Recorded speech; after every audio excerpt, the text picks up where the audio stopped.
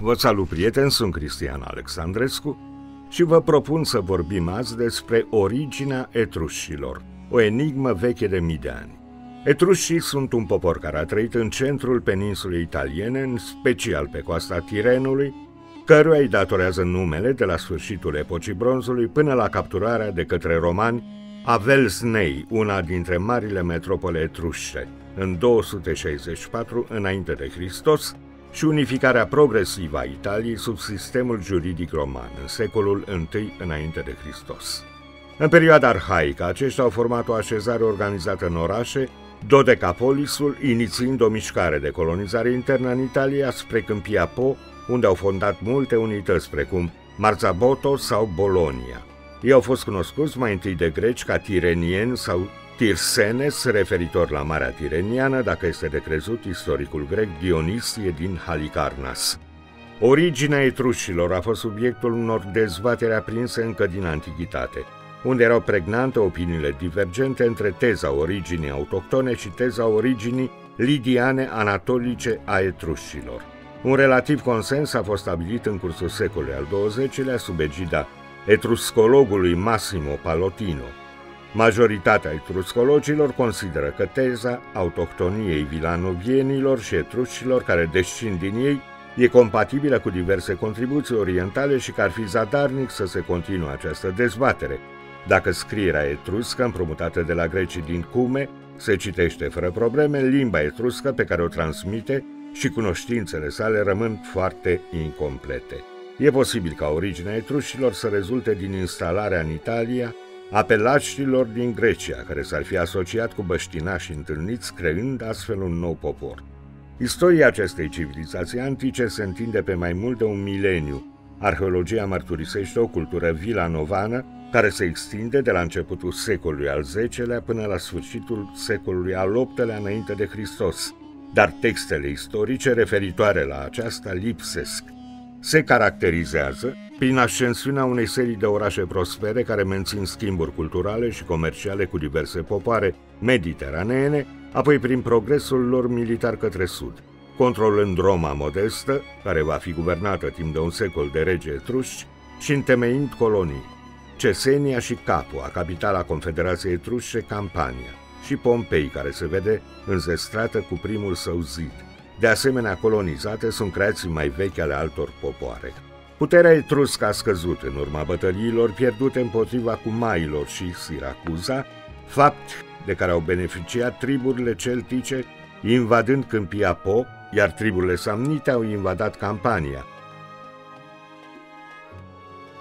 Acest declin a continuat cu cucerirea treptată a Etruriei de către Republica Romană, care a început odată cu capturarea uneia din cele 12 metropole etrușe Veies în 396 înainte de Hristos și se termină cu capturarea metropolei Velsna în 264 înainte de Hristos. În anul 17 înainte de Hristos, întregul teritoriu etrusc, devenit Regio 7, a fost încorporat în diviziunea administrativă a Italiei romane. Puterea militară a etrușilor se manifestă în special sub forma unor mari forțe navale și a unei infanterii compuse din războinici care au adoptat armamentul hoplitic și formarea de unități de falangă grecească. Orașele, beneficiind de o arhitectură avansată, au în mare parte incinte solide și poziții geostrategice puternice. Teritoriul original al etrușilor, Etruria, corespunde aproximativ Toscanei actuale, treimea de nord a Lațiului și nord-vestul Umbriei. La apogeul lor, în timpul așa numitei perioade arhaice, stăpânirea lor s-a extins de la Câmpia Po până în Campania.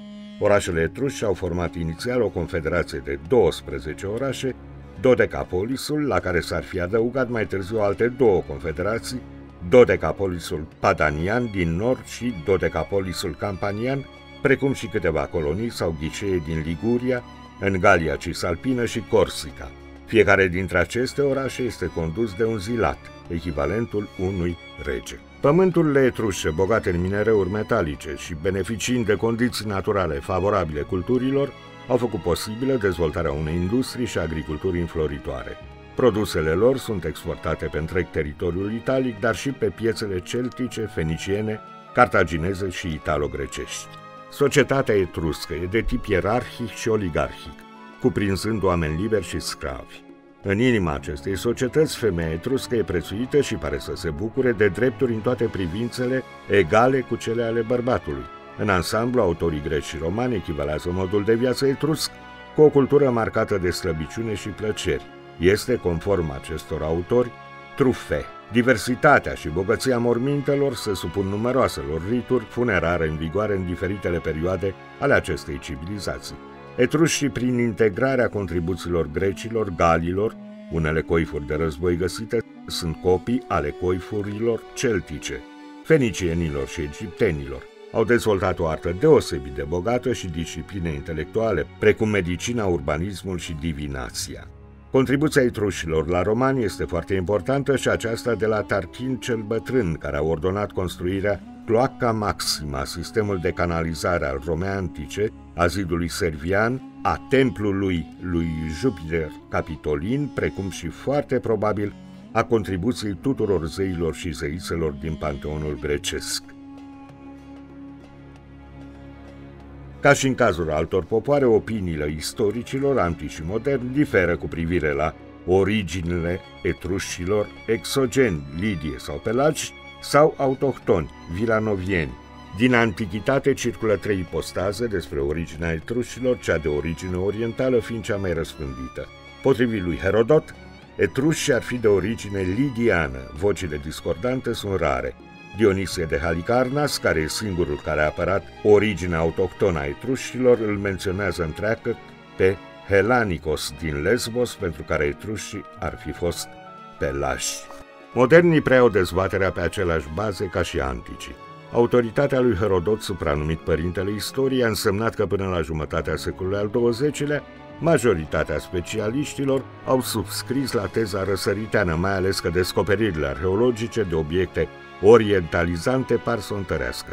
O a patra ipoteză, înaintată în 1753 de Nicolas Frere și preluată de Theodor Mommsen în secolul următor sugerează că etrușii provin din Retes, care au sediul în Alpii de Est și sunt legați lingvistic de aceștia pe baza unor inscripții.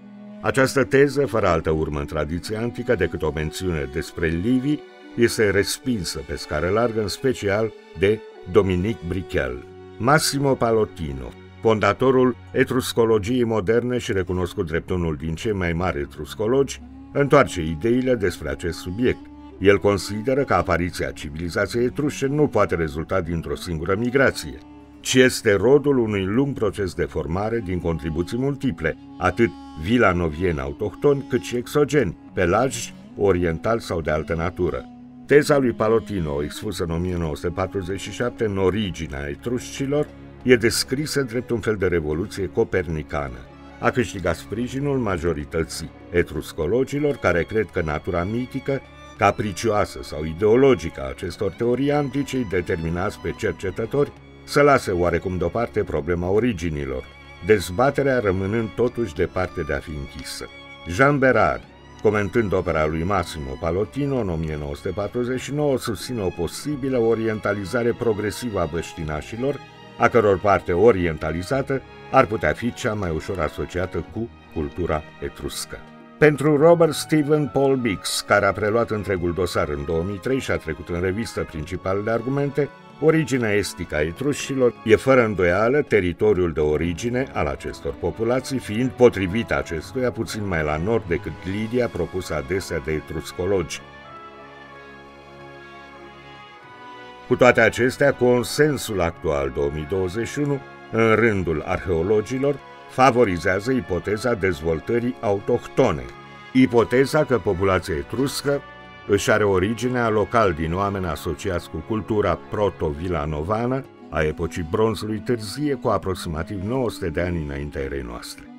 Un studiu paleogenetic publicat pe 24 septembrie 2021 în Science Advances coordonat de universitățile din Florența, Iena și Tübingen și care implică cercetători din Italia, Germania, Statele Unite, Danemarca și Regatul Unit, încearcă să facă lumină asupra originii și moștenirii etrușilor prin analizarea genomului din indivizi din centrul și sudul Italiei care au trăit între 800 după Hristos și 1000 după Hristos. Rezultatele cercetării confirmă că etrușii, în ciuda expresiilor lor culturale specifice, ar fi strâns legați de vecinilor italici. La cumpăna epocii fierului și a perioadei Romei republicane, moștenirea genetică etruscă ar fi rămas aceeași timp de cel puțin 800 de ani. Etnogeneza etrușilor rămâne un subiect delicat. Limba lor, clar non-indo-europeană, este unul dintre cei mai vizibili marcări a identității lor. Dacă scrierea lor datează doar din secolul al VIII-lea înainte de Hristos, numeroasele împrumuturi reciproce indică o îndelungată apropiere între etruști și vecinilor italici înainte de această perioadă. Procesul de etnogeneză datează probabil din mileniul 2 înainte de Hristos, la sfârșitul epocii bronzului, în jurul anului 1200 înainte de Hristos, când un nou faces cultural înlocuiește cultura apeninică. Această fază, numită proto-vilanoviană, din secolul al XII-lea până în secolul al X-lea înainte de Hristos, e marcată cultural în domeniul funerar prin trecerea progresivă, de la mormântare la incinerare într-o parte a Italiei, corespunzătoare zonei în care va înflori cultura vilanoviană, apoi civilizația etruscă, iar înmormântarea persistă în regiunile locuite de către popoarele italice care vorbesc o limbă indo-europeană. În această fază, proto-vilanoviană, care corespunde unor profunde răsturnări de la estul Mediteranei, e posibil să se fi stabilit grupuri din Italia centrală și de est pentru că au contribuit la etnogeneza poporului etrusc. Istoria acestei civilizații antice se întinde pe 10 secole și 6 epoci succesive. Perioada vilanoviană, de la începutul secolului al X-lea până la sfârșitul secolului al VIII-lea înainte de Hristos, atestată de o arheologie alcătuită din habitate rudimentare și elemente funerare, cunoscute sub numele de câmpuri de urne. Perioada orientalizantă, marcată de schimburi culturale și comerciale cu fenicienii, cartaginezii și grecii din sudul Italiei, sau eubeenii, datată între 720 și 600 înainte de Hristos. Perioada arhaistică, timp atribuit între 600 și 480 înainte de Hristos, o fază de dezvoltare culturală, economică și teritorială, care i-a văzut pe etruși punându-și amprenta pe o mare parte a bazinului vestic al Mediteranei și a Italiei antice, inclusiv în interiorul Romei, oferindu-i trei suverani, Tarchin cel Bătrân, Servius Tullius și Tarchin cel Superb, din linia dinastică a Tarchinilor. Perioada clasică, datată între 480-300 înainte de Hristos, timp în care preeminența etrușilor se clatină și este marcată de grele înfrângeri militare pe pământ ca și pe mări. Perioada elenistică, atribuită anilor 300-100 înainte de Hristos, care se prezintă ca o fază de declin, punctată de multiple invazii, în special celtice și asedii ale orașelor. În sfârșit, perioada romanizării, de la 100 la 17 înainte de Hristos, marcată de subjugarea populațiilor etrușe de către Republica Romană, orașele etrușe devenind municipii sub supraveghere romană, precum orașul emblematic Velsna, apoi aderarea lor la cetățenia romană. În anul 17 înainte de Hristos, întreg teritoriul etrusc, devenit Regio 7, a fost incorporat în Imperiul Roman. Teritoriile istorice ale Etruriei inițiale au fost delimitate de cursurile râurilor Arno, malul drept și Tibru, malul stâng, ale căror izvoare sunt situate pe versanții respectivi ai munților Falterona și Fumaiolo. Etruria cuprindea așadar partea de vest a Umbriei, întreaga Toscană și extremitatea nordică a Latiumului până la Roma, unde malul drept al Tibrului, Trastevere, era considerat etrus după cum confirmă unii termeni vechi. Litus Tuscus, cu alte cuvinte, țărmul etrușilor. Sau chiar Ripa Veiens, la propriu malul Vees, orașul etrus cel mai apropiat geografic de Roma și cu acces direct pe calea Tibrului. Expansiunea comercială și politică etruscă s-a întins ulterior în Campania și în Câmpiapo, dovadă fiind vestigiile arheologice, monumente și opere de artă de tot felul. În secolul I, în scrisorile sale, Pliniu cel tânăr era plin de laude pentru panorama naturală a ținuturilor istorice etrusce. Națiunea etruscă s-a format printr-un proces complex de schimburi comerciale, fluxuri migratorii și conflicte armate, anumite etape care pot fi reconstruite de arheologie. Deci, la începutul secolului al IX-lea, înainte de Hristos, metalurgia fierului se dezvoltă în diverse centre ale Etruriei. În secolul al V-lea înainte de Hristos, primele habitate se transformă inițial în orașe-state cu bază monarhică, apoi aristocratică, a căror expansiune unitară rămâne limitată. Expansiunea începe în secolul al VIII-lea înainte de Hristos, orașele mai puternice, absorbindu-le pe celelalte, fie cultural, fie cu forța, fie politic. În ansamblu, la sfârșitul acestei ere a expansiunii teritoriale, aria geografică a Etrurii Toscane, Campaniei și Padaniei acoperea aproximativ o treime din Italia, adică 100 de mii de kilometri pătrați.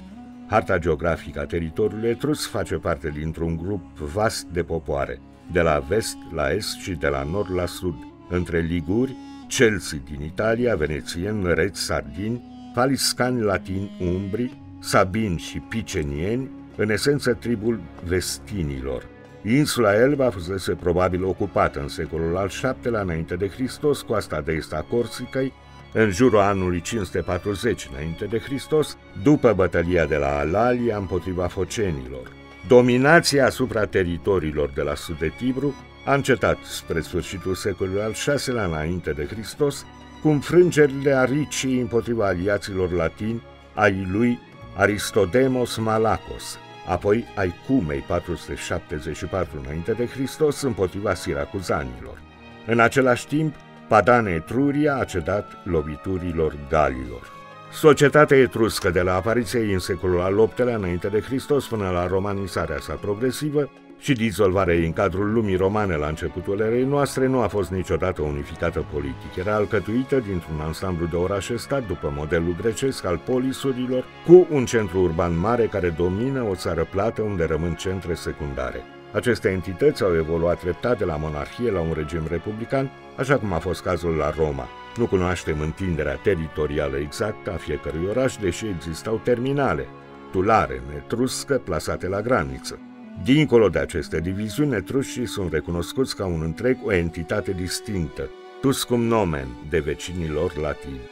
Evoluția orașelor către un regim republican nu a fost irreversibilă, așa cum arată metropola Vees, care a revenit la un regim monarhic, atrăgând astfel ostilitatea celorlalte orașe etrusce. Instituțiile politice etrusce nu sunt bine cunoscute. Ceea ce știm despre ele a ajuns la noi prin pasaje aluzive din texte grecești sau latine. Arheologia completează aceste surse, în esență, sub formă de inscripții, însă cunoașterea imperfectă a limbii etrusce lasă multe semne de întrebare. În secolul al VII-lea și al VI-lea înainte de Hristos, aceste orașe-stat cunosc un regim monarhic, regii pe care etruscologii i-au numit cândva lucumoni, denumire în care savanții de azi cu greu mai cred, provin din marile familii aristocratice care formează o oligarhie. Ei exercită o putere ale cărei atribute ne sunt cunoscute printr-un pasaj din Dionisie din Halicarnas, o coroană de aur, un tron de filde și un sceptru cu un vultur pe pom, o tunică de purpură încrustată cu aur și o mantie purpurie brodată, așa cum purtau regii lidienilor și perșilor. Se pare că era un obicei tirenian pentru fiecare dintre regii din cetatea lui, ca el să fie precedat de un lictor, unul singur, purtând un topor cu mănunchi de toiag și când era o expediție comună de 12 orașe, cele 12 topoare au fost predate unui singur om, celui care primise puterea suverană. Se știu puține despre instituțiile orașelor republicane. Aveau magistrați, inclusiv Zilac, magistrat suprem ales anual, și Maru, a cărui funcție este și mai puțin cunoscută. Orașele Etrurii, istorice, conștiente de identitatea lor lingvistică, culturală și religioasă, erau mai strâns legate între ele. Ele au format o ligă, Dodecapolisul Etrusc, pe care scritorii greci o numeau Dodecapoleis, adică 12 orașe, de la care provine cuvântul Dodecapolis în franceză. Dionisie de Halicarnas vorbea despre 12 hegemoniai, în timp ce scritorii latini vorbeau despre duodecim populi, adică 12 popoare. Sediul ligii ar fi Fanum, santuarul Voltumne al zeului Voltumna, care ar fi situat în Volsinies, pe Campo de la Fiera, unde credem că am găsit urme ale acestuia. Ședințele în esență de natură religioasă ar fi fost conduse de un magistrat suprem, Zilat Mecl Rasnal. Etruscologii sunt împărțiți în privința sensului acestei expresii, care s-ar putea aplica celui mai înalt magistrat al unui oraș dat. Numai Livii menționează sanctuarul de cinci ori pentru o scurtă perioadă, asociindu-l cu întâlniri politice a ceea ce el numește Omni Etrurie Concilium, Consiliul întregii Etrurii, sau Etruscorum Concilium, Conciliul Etruscilor. Conform datelor rare culese de la scritorii antici, ar fi existat o instituție care se încadrează în aceea schemă atât în Etruria padaniană cât și în Etruria campaniană. Pentru primul, Livii relatează că stăpânii teritoriului, care se întinde de la o mare la alta, etrușii au construit acolo 12 orașe și s-au stabilit mai întâi pe această parte a Peninilor spre Marea Inferioară. Apoi din aceste capitale au fost expediate tot atâtea colonii care, cu excepția pământului veneților, scufundat în unghiul Golfului, au invadat toată țara dincolo de Po până la Alpi. Strabon, referindu-se la campania, menționează că etrușii au întemeiat acolo 12 orașe, unul printre altele numit Capua. Aceste afirmații, preluate pe scară largă de etruscologii moderni, nu sunt totuși unanim acceptate. Mai multe puncte fac obiectul unor întrebări sau controverse, în timp ce unii savanți continuă să vadă Dodecapolisul padanian și campanian ca rezultat al cuceririi, Alții subliniază că Campania și Câmpia Po prezentau deja aceleași trăsături arheologice ca Etruria istorică în perioada vilanovană. Însăși noțiunea de dodecapolis se supusă precauției pentru aceste două regiuni, deoarece este greu de găsit, deoarece sunt greu de găsit 12 candidați la titlul de oraș adevărat. Tasalocrația etruscă E un termen istoriografic care desemnează expansiunea teritorială, culturală și comercială etruscă prin înființarea numeroase așezări coloniale în perioada secolului al VIII-lea până în secolul al V-lea înainte de Hristos în vederea consolidării pozițiilor economice pe o parte a bazinului mediteranean. Prezența lor e atestată pe litoralul tirenian de situl portual Gravisca, fondat în secolul al VI-lea înainte de Hristos, care constituie un emporion adică un fel de port liber. În Galia mediteraneană, etrușii au fost prezenți în Languedoc și Provence, în secolul al VII-lea și al VI-lea înainte de Hristos, în special la situl protoistoric La Tara, situat în aglomerarea municipiului Lates, în departamentul Ero și Pechmaho, situat în actualul departament Od. În Liguria, prezența lor e atestată din când în când pe situl de luna din perioada arhaică și în Othors remarcăm aici prezența vestigiilor unui colonial etrusc pe locul Alalia. Pe insula Elba, analizele de teren efectuate în secolul al XIX-lea evidențiază existența unor zone de extracție minerală, a căror datare atestă o așezare etruscă în secolul I. Insula Elba pare a fi un nod al exporturilor etrusce cu prezența unui important emporiu. Atât pentru azi prieteni, sunt Cristian Alexandrescu și vă spun ca de obicei, pe curând.